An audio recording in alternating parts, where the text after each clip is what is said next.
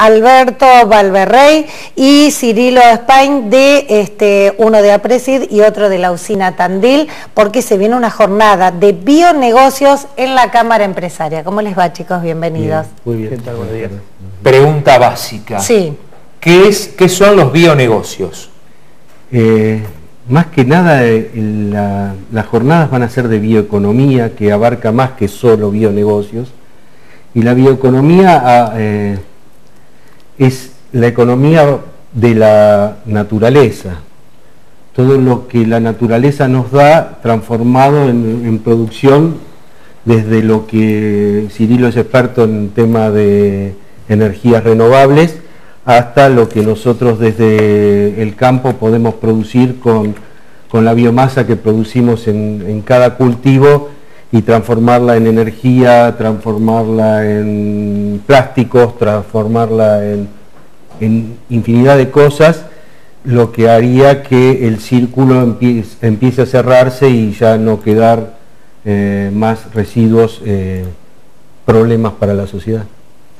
Digo, debe ser este, el, comienzo de la utilización de lo que tiene que ver todo con lo natural, realmente ya hace muchos años que se viene trabajando, pero el tema es el límite, ¿no? El tema es hasta dónde se utiliza y de buena manera, porque digo, hoy se, usan cosas en el hoy que después no se piensa a lo mejor en el impacto este, negativo, el impacto negativo ambiental para el futuro que eso se ha visto muchísimo, ¿no? Tal cual, la verdad que hoy en día la sociedad consume mucho más de lo que debería consumir, la sociedad no es eficiente, se están agotando los recursos naturales del planeta y todo apunta a que la sociedad tiene que ser mucho más consciente de eso, cuidar mucho más sus recursos y empezar a ser más renovable. O sea, lo que habla Balbito es generar economías circulares, ¿no? que no se generen desechos directamente, ah. no, que se requiere que no haya desechos para generar y si hay desechos en el cual se puedan reutilizar lo más rápido posible y lo más cerca posible. Claro, eso en teoría, pero ¿cuán lejos estamos de la realidad? No estamos lejos. No estamos lejos. No, no, no.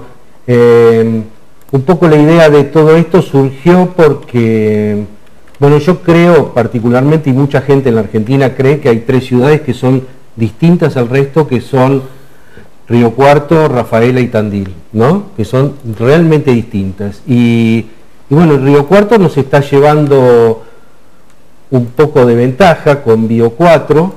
Eh, Bio 4 surgió de un productor que producía maíz y que ya no le daba para pagar el flete a Rosario porque tenía mil kilómetros, entonces empezó a producir etanol, que es un combustible desde, desde el maíz. La mitad de, de ese maíz era etanol, la mitad era burlanda. La burlanda es un tremendo alimento para la hacienda. Eh, esa hacienda empezó a estar concentrada, producía heces, esas heces se empezaron a biodigestar y empezaron a producir gas y ese gas hoy produce electricidad y esa electricidad hoy... Eh, a partir de una crisis... De, nada, eh, ese señor, y es lo que nosotros tenemos como sueño de que eso empiece a ocurrir en Tandil porque la bioeconomía tiene algo muy básico para nosotros, que es la territorialidad. Vos no podés llevar biomasa de Tandil a Europa para que se procese, tiene que procesarse acá. Eh, Balbito, eh, Cirilo, estas jornadas pueden servir para que los concurrentes eh, se les abra la cabeza en decir, caramba, puedo ir, mm. puedo ir por acá, nunca se me había ocurrido que esto lo puedo hacer en Tandil. Me parece que, que es una de las eh, ventajas de ir a esta charla, ¿o no? Sí, sí, yo creo que vienen profesionales de mucha calidad, en el cual le van a contar todo lo que se hace, lo que se puede hacer, lo que se está haciendo en el mundo y las posibilidades que hay concretamente acá en Tandil, acá en la zona, hacer las cosas, que no es algo imposible, como decías vos, o algo muy difícil, sino que realmente las posibilidades están y esos profesionales se las van a ¿Y en lo económico es posible? Sí. O sea, ¿no están, este, está al alcance de, los productores, de la gente? Balbino tiene mejor los números que yo, pero yo creo que sí. ¿eh? Yo creo que sí. Lo que, el tema es, primero, el sueño nuestro un poco fue traer a esta gente porque, bueno, Fernando Vilela y Claudio Dunan, sobre todo Fernando es director del posgrado de bioeconomía de la Universidad de Buenos Aires y todavía no empezó a funcionar y ya logró que ese posgrado saliera de Buenos Aires y el sueño nuestro es que empiece a funcionar a partir de mitad de año acá en Tandil, si es que conseguimos los alumnos. Eh, entonces, lo que está dentro nuestro es poder conseguir gente para formar.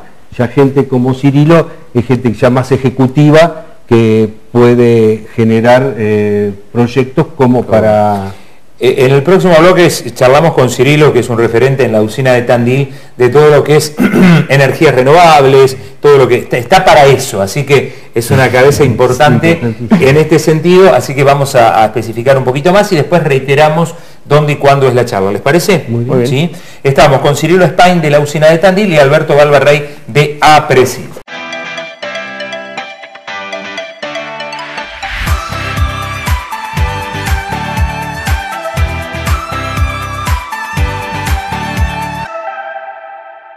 Muy bien, y seguimos charlando con Alberto Valverrey, con Cirilo Spain, porque se viene una jornada muy interesante de bionegocios y de eso estamos charlando.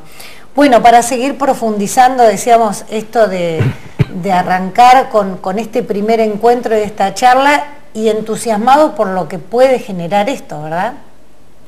Sí, sí, creemos eh, que va a tener un buen impacto en Tandil, que va a ser bien recibido, que se va a acercar mucha gente a la Cámara y dedicado específicamente a ustedes, ¿a quiénes invitan?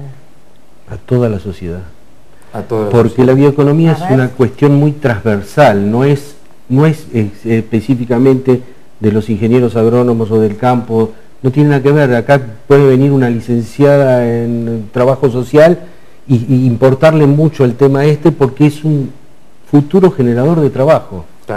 Ah, pensaba, eh, hasta en una ama de casa que mm. quiere eh, ver eh, cómo los residuos que pueden volver a, utilizarse, bueno, se puede asociar con alguien por ahí como para empezar una mini pyme. A ver, quizá un poco utópico en principio, pero se puede de a poquito. Mira, yo ayer, yo estoy también en el tema de mesa de escuelas rurales y ayer tuvimos la, primera reunión del año y, y, estábamos hablando de la escuela de Gardey y ya la gente de la Facultad Veterinaria está armando un biodigestor para todo lo que sea orgánico y parece que se lo van a llevar, que hay un criadero grande de pollo en, en Gardey y bueno, y eso va a generar energía. Claro.